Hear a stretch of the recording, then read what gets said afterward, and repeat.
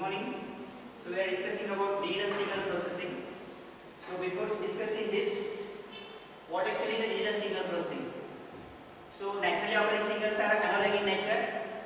So whenever I say we have to process some signal, what we have to do? Analog signal systems are susceptible to noise. Analog system behavior changes with the time because of the changing behavior of analog components like resistor, all. Analog system designed for a purpose can be used only for that purpose only. So as we defined three types of signals, analog signal, discrete signal and digital signal. When I say analog signal, in case of analog signal, amplitude is continuous in a time as well as time axis is also continuous. In case of discrete, time axis is discretized but amplitude is continuous and in case of digital signal, time, time axis is discrete and as well as your amplitude axis is quantized. So what actually digital signal processing? Signals need to be processed so that the information that they contain can be displayed, analyzed or converted to other type of signal. So for that we have to use different types of converters. If suppose I have to use analog signal, first what we have to do, we have to convert it into digital one. Then using digital signal processor, we have to process that particular signal. And then for real-time application, we have to convert it again into analog one using digital to analog converter. So for example, we can say MP3 player. So here if I say input signal, we are giving to a mic or a microphone. Input signal is analog one. That is my speech. That we convert using analog digital into digitized one. That is binary. Then using DSP processor, for example TMS320, what we do? We analyze that particular signal, analog signal after digitization. If possible, we can amplify, we can remove its noise and then again using digital to analog converter, we give it to receiver. This is MP3 encoder where we use DSP processor or DSP for conversion of analog signal to digital and digital to analog. This is basic DSP block diagram. So as we discussed, naturally occurring signals are analog in nature. For digital signal processing, what is my first work or first task? We have to convert your analog signal into digital one. First, we are using anti-aliasing filter so that to remove aliasing. As per our concept of sampling, we have seen Nyquist criteria. As per Nyquist criteria, our sampling frequency should be twice the bandwidth. So for that, we are using first anti-aliasing filter to band limit your given signal. Then using sample and hold circuit, we are converting into digital signal. Then using digital signal processor, for example TMS320, we are processing that particular signal and again we are converting into analog one and finally using reconstruction filter we are getting finally analog signal that is desired signal for your application. What is inside DSP? Now we have discussed what actually is the signal, what is digital signal processing and what actually is needed. In DSP we have program memory, data memory, compute engine and input and output. If I say compute engine, it is it access program memory and data memory where we get an input and then using different DSP processes we what we do we analyze our signals. The advantages of DSP over analog signal processing. Basic difference between two in analog signal processing we directly take analog signal and we manipulate it. In case of DSP we go for signal. First is the flexibility. Same hardware can be used to do various kinds of signal processing tasks in case of a DSP. Repeatability, the same signal processing operation can be repeated over and over, giving same results. Accuracy in case of digital is higher as compared to your analog signal processing. As signal we are converting into digital domain, the storage is easily possible. Again, we can implement this digital design or DSP processor easily and it, these are cheaper to implement. As we discussed advantages, there are some disadvantages system complexity, limited bandwidth, more costly hardware and more power consumption. But still we have discussed advantage and disadvantage. We can say the choice between analog and digital signal processing depends on the application. One has to compare design time, size and cost of the implementation for desired application. Applications of DSP, as we say, there are many applications of DSP in real time. First is the filtering. If suppose I am acquiring any signal for my application purpose, while acquiring signal there are disturbances that we say noise. That noise we have to filter using your DSP. Second is speech synthesis in which white noise is filtered on selective frequency basis in order to get an audio signal. Now whatever I am delivering a speech, it is also having some noise from external background. If we have to remove this particular noise, what we have to do? We have to design a filter so that it can just remove that particular noise. Speech compression and expansion for used in radio voice communication. Speech recognition, signal analysis. Again, image processing. Image processing as a part of DSP, digital signal processing, where we use filtering, edge effects, or enhancement of your images. Modulation used in telecommunication. You might have discussed in case of analog combination, different types of modulations, FM, M. These are again a part of your digital signal processing.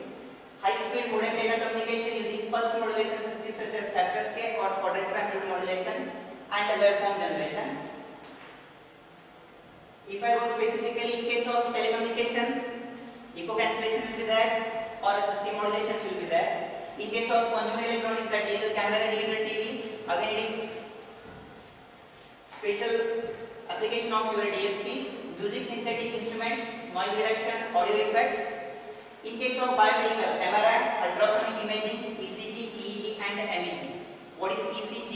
ECG is nothing but electrocardiograph, it is electric activity of a heart. So that ECG we can acquire from a patient body. Then we can, after acquiring, using DSP processing, we can find out particular ECG features from which we can find out or we can monitor that particular patient. Experimental physics, sensor data evaluation. If I say aviation, that is radar or radio navigation, we use again same DSP concept. In case of image processing, image analysis or pattern recognition. Military, missile guidance that military is using DSP, DSP processing applications from long time ago. or Audio and speech processing where we go for speech recognition, speech synthesis, instrumentation and control. In robot control also we are using DSP application. Seismology where earthquake monitoring or detection of underground explosion. This can also be done using your digital signal processing. Next we are going to see concept of correlation. What actually is a correlation? Correlation is nothing but finding degree of similarity between any two signals.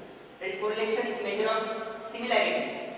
There are two types of correlation depend on which signals we are using. If suppose we are using the same signals x of n and x of n, that type of correlation is nothing but autocorrelation. And if we are using two different signals for finding out similarity, that is nothing but cross correlation.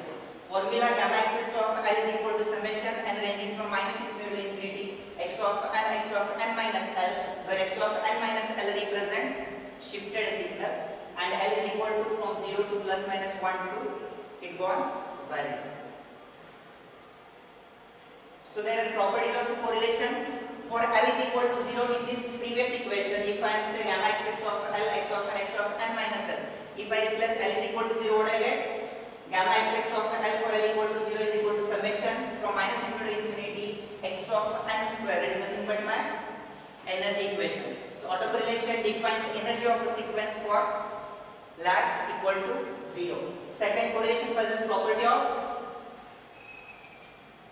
even sequence that is gamma x of L equal to gamma x of minus L or gamma x y of L equal to gamma x y of minus L.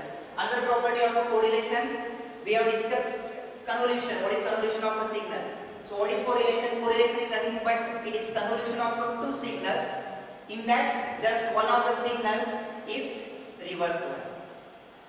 For example, if I have two signals or two sequences given x of n is equal to 1, 2, 3, 4 and h of n is equal to 1, 2, 1, 2, we have to find out cross correlation. As both signals are different, what we have to, what we will get here, we will go for cross correlation. Now what are steps to solve this particular example? We have two sequences. First, x of n and h of n. First what we have to do, find range of x of n and range of h of minus n. That is length of x of n and length of h of n. For this particular example, length of x of n is equal to 4. So indices will be 0, 1, 2, 3 and h of n will be from again 0, 1, 2, 3. But for calculating range of L, what we have to do? We have to change h of n. We have to reverse h of n to h of minus n. So what will be h of minus n? We'll get from minus 3, minus 2, minus 1 and 0. So next comes my second, calculate range of L. While calculating range of L, what we have to do? Take lower limit of x of n and add into lower limit of h of minus n. For this example, lower limit of h of n is 0 and lower limit of h of minus n is minus 3. So I will get lower limit of L equal to minus 3. Similarly, for getting higher limit or upper limit, what we have to do? We have to add upper limit of first sequence x of n and upper limit of reverse sequence h of minus n. So for this example, what is upper limit of x of n? That is a 3 and h of n, h of minus n upper limit 0. So my range of L will be from minus 3 to plus 3. So using my equation of gamma x of L is equal to minus infinity to infinity x of n n minus L. Here for this example, L will range from 0 to plus minus 1, plus minus 2, plus minus 3. We will simplify and we can find out gamma x of 0, 1, 2, 3, minus 1, minus 2 and minus 3. Now next is my discrete Fourier transform. Before that, I would like to say what actually is a Fourier transform. Transform is nothing but we are converting one particular signal from one domain to another domain without losing its characteristics. And what is necessity for any transform? When I convert one signal from one domain to another domain, there should be reverse path so that we can convert that second domain to again first domain. In case of discrete Fourier transform, it is frequency domain representation of x of n by samples of its spectrum x of omega. What is x of omega? It is DTFT discrete time Fourier transform that we are sampling to get your x of k. So formula of x of k is nothing but summation and ranging from 0 to n minus 1 x of n e raised to minus j 2 pi k n by n k ranging from 0 to n minus 1. In another way, if I have x of k, to get x of n we have formula for IDFT that is 1 upon n summation k ranging from 0 to n minus 1 x of k e raised to j 2 pi k n by n and n ranging from 0 to n minus 1. Now, as per property of DFT, there are different properties. Periodicity, where x of k plus n is equal to x of k. After some shift, we get same signal again. Linearity, where if we are adding two signals or two sequences, then the final DFT will be also addition of two individual DFTs. Circular time shift, where x of n minus n modulo n in the time domain is nothing but x of k multiplied by exponential exponential term. What is this concept of modulo x n minus m? What we do in case of modulo? Whenever they say modulo n, first what we will do? Draw a circle and divide it into n number of samples. Then graph your x of n sequence in anti-clockwise and if they are mentioning any n minus m, then take m rotation in anti-clockwise direction. Same circular frequency shift. In case of circular time shift, we are taking modular operation in time domain. In case of frequency shift, we are taking modular operation in frequency domain. Final is main property of DFT that is circular convolution. So what we say, circular convolution is nothing but what we do if you have two sequences x1 of n and x2 of n. First we take its DFT x1 of k and x2 of k. Then we take multiplication of it as x3 of k, is multiplication of x1k, x2k. Then if I find out its IDFT, then I will get its circular convolution. Is nothing but multiplication of two DFTs in time domain nothing but its circular convolution. Now we have seen DFT formula using summation x of n e raised to minus j to pi k by n. But for making sim calculation simpler, we use concept of Twiddle factor. What actually is factor in expression? We just replace e raised to minus j to pi k n by n by wn of n k. That is nothing but my Twiddle factor wn of n k. So using is the equation of your DFT? x of k is equal to summation and ranging from n minus 0 to n minus 1 x of n wn of n k where k ranging from 0 to n minus 1. And whatever wn n k matrix we get that is nothing but my transformation matrix. And in same way what is IDFT? It is 1 by n summation x of k wn of minus n k. Properties of a Twiddle factor. As we say, Twiddle factor is nothing but Wn of n k e raised to minus j 2 pi n k by n. There are two properties of Twiddle factor, periodicity and symmetry. What is periodicity property? Wn of r is equal to Wn of r plus n. If I consider W4 of 0, it will be equal to W4 of 4 because R value 0 and capital value 4. So W4 0 equal to W4 4, W4 8 likewise. Similarly, Wn of R is equal to minus Wn of R plus minus n by 2. If I consider here W4 is 0, it will be equal to minus W4. What is the value of n? 4. 4 by 2, 2. So R plus 2, 2. So W4 0 is equal to minus W4 2. Next we consider now what actually is a circular convolution. I will discuss in property that multiplication of two DFTs in frequency domain nothing but its circular convolution in time domain. There are four different types to calculate circular convolution. Out of that first is finding circular convolution using graphical method or concentric circle method. How to solve this particular type, this type of example? They have given two sequences x of n and h of n. What we have to do first? First graph or a plot first sequence x of n on the outer circle in anti-clockwise direction. Then second, for second step what we have to do? Plot h of n sequence in inside circle starting from the same x of n but it will, it will be in clockwise direction. Multiply corresponding samples and whatever output we will get that will be for y of 0 that is first output. For getting next output what we have to do? Just rotate inner circle one by one. For each shift, I will get one output. And where we have to stop? Whenever we rotate inner circle one by one in anti-clockwise direction, there will be one condition. In, in that, we'll get same plot as per your previous. So stop there and just repeat step number four for next calculation. So this is circular convolution using graphical method. Second is the matrix multiplication method. What we do here, we have two sequences again, x of n and h of n. First we have to arrange x of n sequence as a matrix. First, first column x0, x1, x2, x3. What we have to do in next step, just take x3 to top and repeat block as it is, x0, x1, x2. So same I will get here first matrix or first sequence and just multiply with second sequence, we'll get final y0, y1, y2, y3. This will be output of your circular convolution. Third is a tabular method.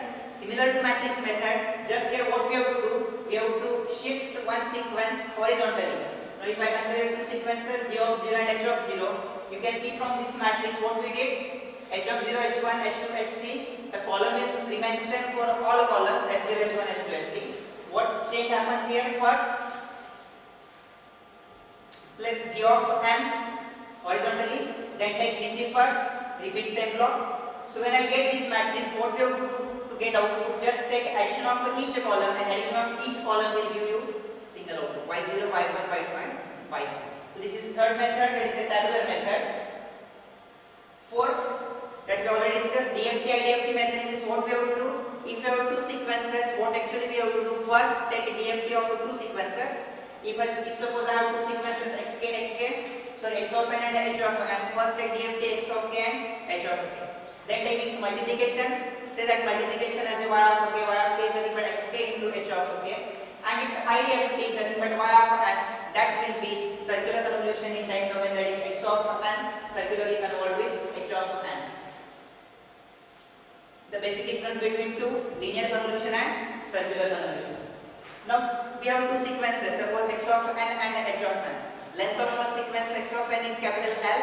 Length of second sequence h of n is a capital M. There is a difference in between output of two linear and circular.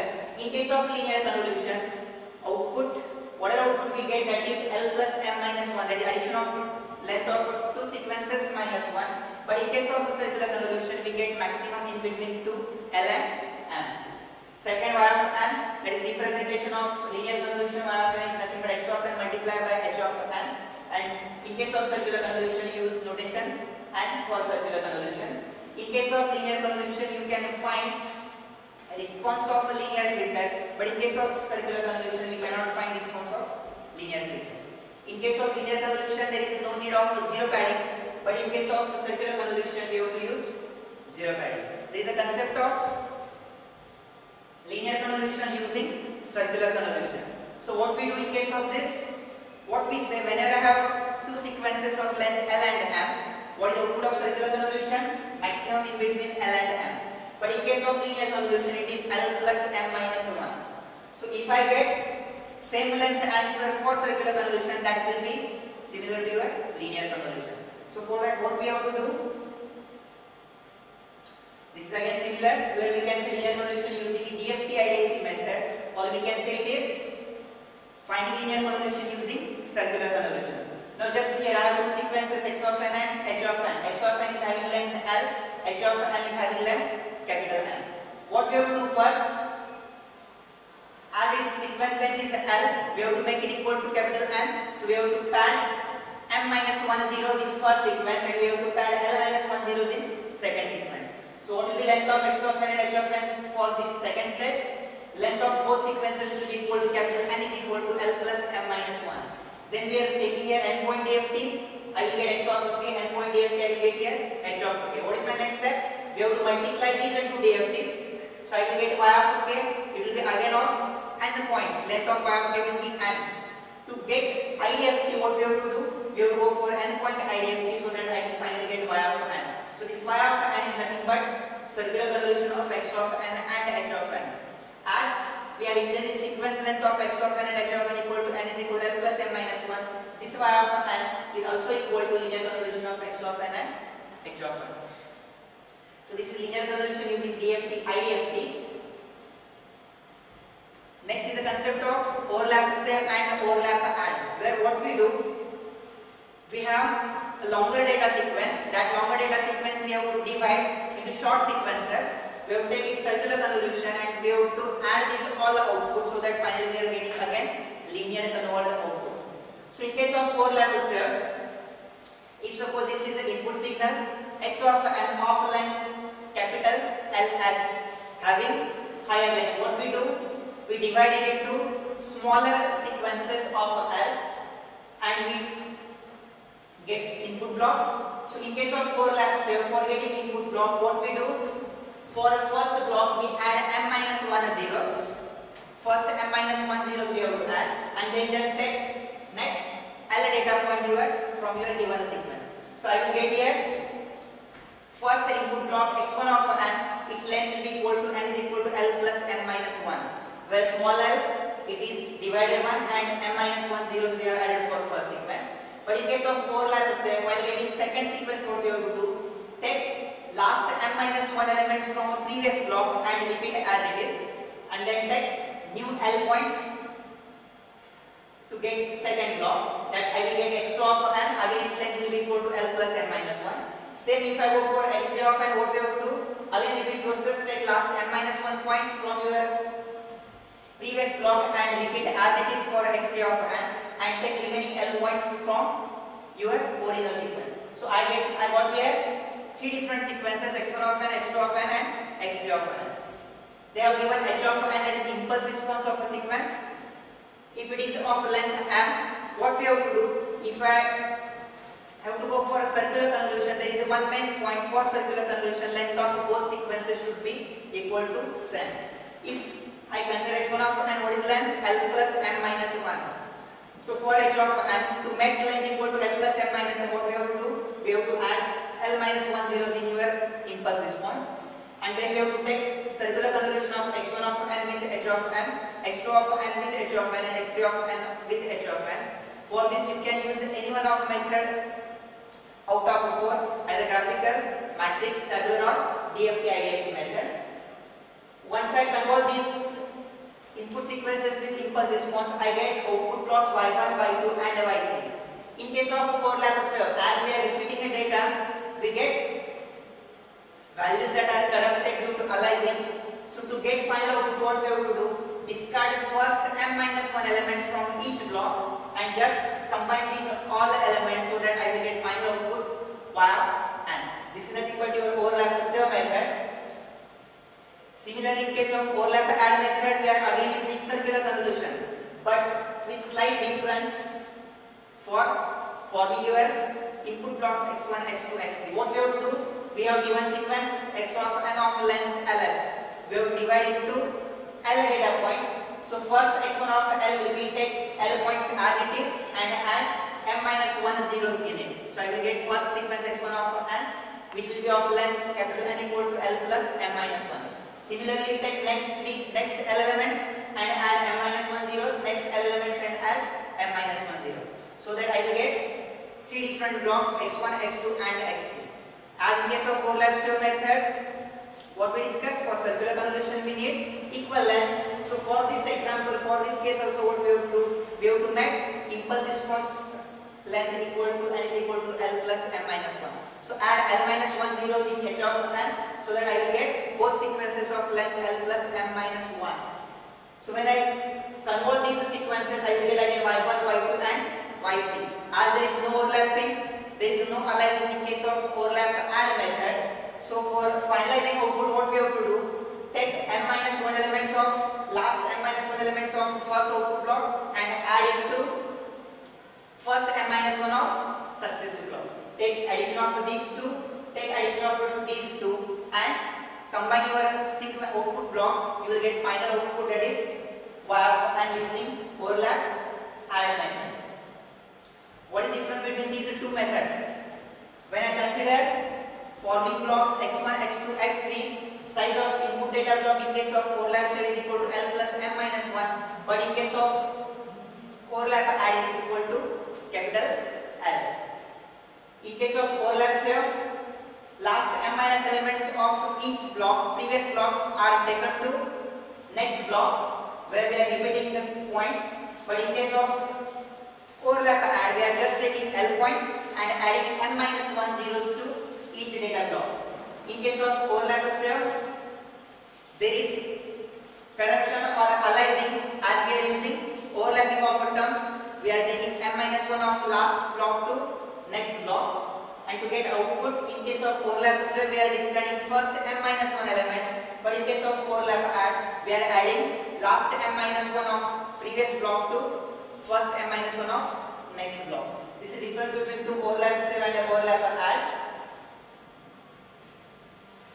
Now we will discuss DFT discrete Fourier transform using your basic formula of DFT where x of k is equal to summation ranging from 0 to n minus 1 x of n e raised to minus j 2 pi k n by n and value of k ranging from 0 to n minus 1. But if we calculate number of computations required for calculating DFT, this is the data, number of complex multiplications required to calculate a single value of x of k, it is n.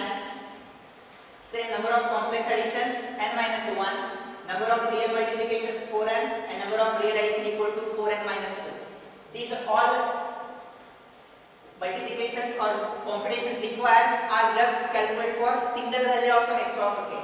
For n point DFT, how many values you have to calculate? You have to calculate totally n point DFT or n values. So for n point DFT x of k, I need number of multiplications required n square, number of complex addition n n minus 1, number of real multiplication 4n square and real addition 4n minus 2. As the number of multiplications are getting increased, what we have to do? We have to think about something new method DFT which will require less computations and which should require less time. So first foremost approach that is post fast Fourier transform where what we are doing, we are reducing number of computations required for calculating DFT. We are reducing number of reducing the time required to calculate DFT. First is divide and conquer approach where what we are doing given n value we are factorizing in, in between 2 L and m if consider value of n equal to 15 and dividing it to 5 into 3. So for this algorithm what we have to do in divide and conquer approach I have two algorithms algorithm 1 algorithm 2. In first algorithm store signal column wise so here you can see I am n equal to 15 so I will be values from 0 to 14. So first represent that we are arranging or we are storing the sequence column wise.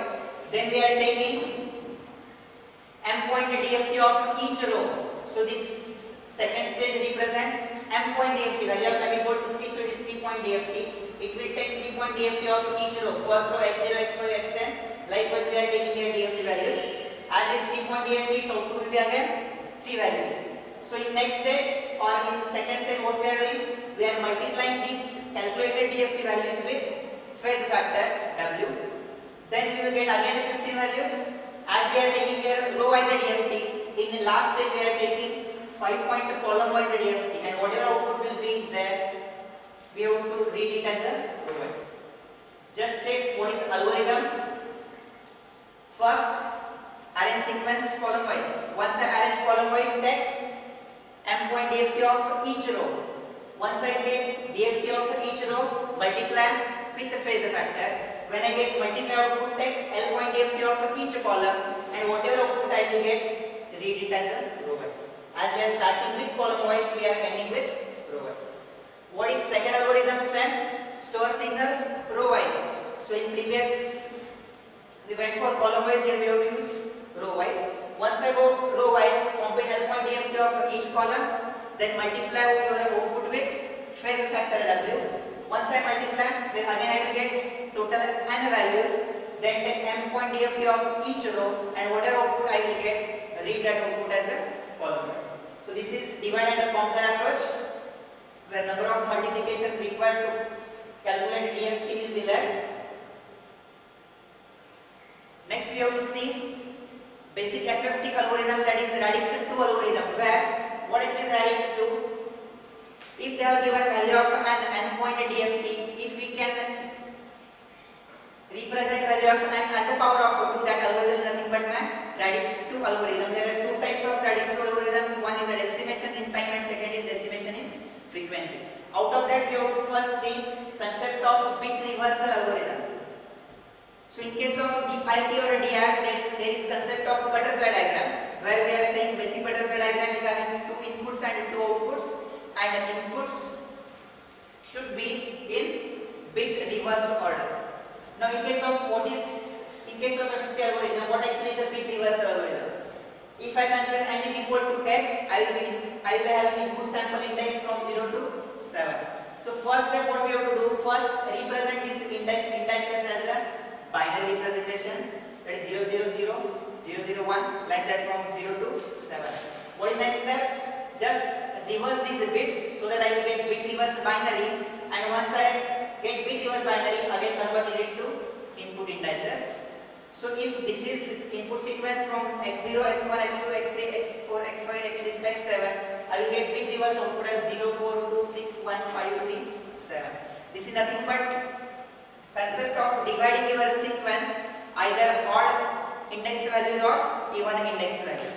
If I say n is equal to 4, I will be only 4 indices 0, 1, 2, 3. So if I go to bit reversal, what will happen here for only 3? I will get 0, 2, 1 and 3. This is a basic bit reversal algorithm. First algorithm in case of FFT is nothing but decimation in the time. So for this there are number of steps that how to start solving example or finding DFT using decimation in time. What you have to do first? First represent number of input samples n is equal to 2 raised to capital M where capital M represent any integer value. Second, in case of a DIT, input is a bit reverse but output will be in natural order. Number of stages in flow graph that is capital M is equal to log of n to the base 2. It will give number of stages in your flow graph. If value of n equal to 8, we can represent it as a 2 raised to 3. So capital M value will be equal to 3. So for n is equal to 8, I will get totally 3 stages. Number of butterflies in each stage, capital N by 2. So for n is equal to 8, each stage will have total 4 butterflies. Input and input output samples are separated by 2 raised to n minus 1 samples. As we discussed in case of direct evaluation of DFT, we need maximum number of computations. In case of DIT or DIF algorithm, we need just n by 2 log n to the base 2 number of complex multiplications and we need n log n complex additions. Total factor exponents are a function of stage index m k is equal to n t divided by 2 raised to m where small m represents stage index for stage 1 m equal to 1, stage 2 m equal to 2, stage 2 m equal to 3 like this. Number of sections of butterflies in stage each stage nothing but 2 raised to capital M minus m and exponent repeat factor that is exponent repeat factor represent number of times your exponent repeats for each stage that is again given by 2 raised to m minus m. Just keep it in mind in this DIT case we are using input bit reverse and output in natural order. Second is decimation in the frequency that is DIF. Number of input samples m n is equal to 2 raised to m where m should be your integer. A main difference in case of DIF input is in natural order but output is in bit reverse. Number of stages in flow graph log n that is capital M. Number of butterflies in each stage n by 2 similar to your DIT input output samples 2 raised to m minus m. Again either it may be DIT or DIF number of complex multiplications and addition will be same n by 2 log n to the base 2 or n log n to the base 2. Total factor exponents k is equal to nt divided by 2 raised to m minus m plus 1 and number of sections 2 raised to m minus 1 exponent repeat factor that I said. Number of times your exponent will repeat in each stage that is nothing but 2 raised to m minus 1 now if I say names of these algorithm decimation in time and decimation in frequency what we can say decimation is nothing but breaking of your sequences now as I discussed FFT algorithm there will be input x of n and output will be x of k to find out DFT. When I say decimation in time means you are using time domain sequence we are decimating means your input is bit reverse. Input bit reverse means your time domain sequence is decimated. And in case of decimation in frequency input is in natural order but output x of k bit reverse means your frequency domain is decimated. That's why these names are decimation in time and decimation in frequency. Similarities and differences between the two. As we discussed the different steps for both. Number of computation required will be same for DIT and DIF both can be done in place. What is in place computation when I say in butterfly diagram there will be input and output but when there are number of stages 1 2 3 so for first stage input will be there and output will be there. But for a second stage output of first stage will be input for second stage. That's why this is nothing but these algorithms are called as an in place computation both need to perform bit reversal at some place. When i consider both algorithms either dit or dif we require bit reversal at some place in case of dit i need it at input and in case of df i will go for output bit reversal what is differences in dit input is bit reverse and output is in natural. In DIF, input is in natural order and output is in DIF. Output is in bit reverse. If I consider basic operation of two butterflies, butterfly for a DIT and butterfly for DIF. When I consider basic operation, what is here? A and B represent input and these are output. So first output will be A into B multiplied by twiddle factor and when I go for output, output second output, second output will be first input minus b into your twiddle factor. But in case of DIF, there is a slight change. Whenever there are two inputs A and B, what we have to do for? First output will be summation of two inputs and second output will be subtraction of two inputs and then multiplied by your twiddle factor W. Now we have seen till now how to find out DFT using DIF or DIT algorithm. Next is nothing but finding IDFT using FFT algorithm. Till now we have discussed how to calculate DFT. So for that we have to first convert equation of IDFT in DFT. What will be first step? If they are given sequence x of k, first take is complex conjugate. x of k is there, then take x conjugate k. Then depend on which algorithm they have used. They are asked to use either DIT and DIF go for input sequence either bit reverse or in natural order. Apply respective algorithm either DIT or DIF. Depend on algorithm again. Check whether output is in natural or bit reverse order. But in case of this FFT algorithm for calculate IDFT output is nothing but n into x conjugate n. And we need answer for x of n. So for getting final output, what we have to do? We have to divide it by n and take its complex conjugate so that finally I will get x of n. So this is method to calculate the IDFT using DIT or DIF algorithm. Next is Fourier series. Next is your simple filter design. Two types of filters, FR and RF filter. In case of FR filter design, it is a finite impulse response. Three types, Fourier series method, windowing method and a frequency sampling method. In case of Fourier series, they have given hd of e raised to j omega, that is the frequency response. hd of e raised to j omega is equal to summation and ranging from minus infinity to infinity. hd of n e raised to minus j omega. From this using inverse formula, we have to calculate first hd of n. This hd of n is nothing but 1 upon 2 pi minus pi to pi hd of e raised to j omega, e raised to j omega and d omega. But here value of n will range from minus infinity to infinity. But as it is infinite, what we need, we have to design finite impulse response where your impulse response should be of finite one. So to make it finite, what we have to do, we have to truncate your given sequence. So by truncating means what we have to do, we have to just cut short your sequence h of n. So h of n after truncating, if I say it is h of n, h of n will be equal to h of n, where n ranging from minus n minus 1 by 2 to plus n minus 1 by 2. So here I will get h of n finite impulse. Then transfer function of filter is given by h of z equal to h of 0 summation n ranging from 1 to n minus 1 by 2 h of n z raised to n plus z raised to minus n. But it is physically not realizable. That's why to make it realizable what we do, we just multiply this h of z with z raised to minus n minus 1 by 2 so that I will get final realizable filter. So this is Fourier series method to find out FIR filter or to design FIR filter. But whenever we go here for a truncation, due to abrupt truncation or direct truncation of your infinite sequence to finite sequence, there are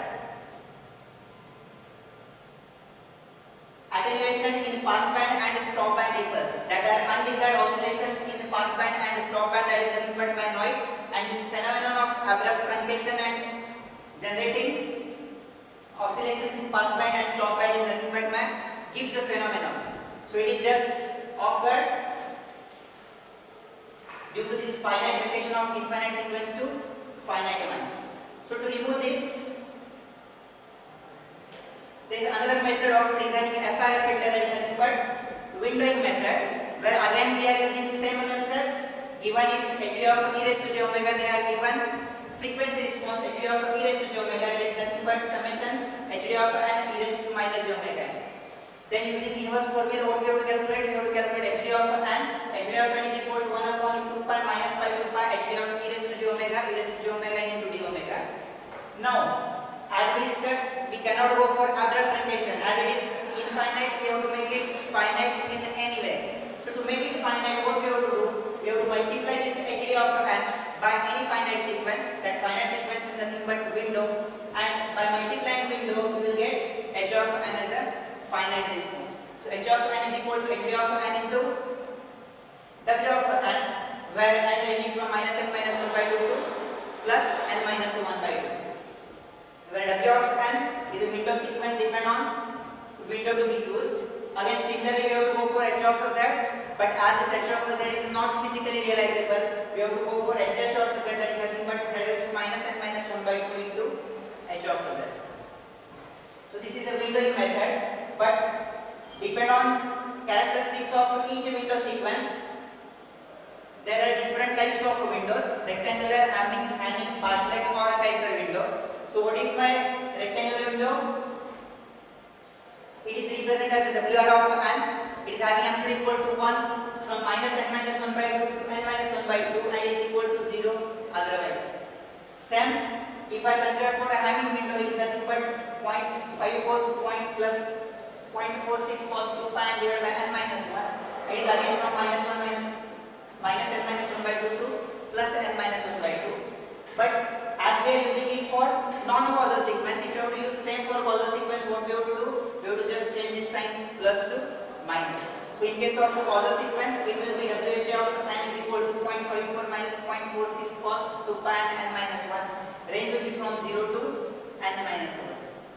Similarly for Hanning window, WHA n is equal to 0.5 plus 0.5 cos 2 pi n minus 1 from minus n minus 1 by 2 to plus n minus 1 by 2. It is for causal sequence and for anti-causal sequence what we have to, do? sorry, for non-causal sequence what we have to do?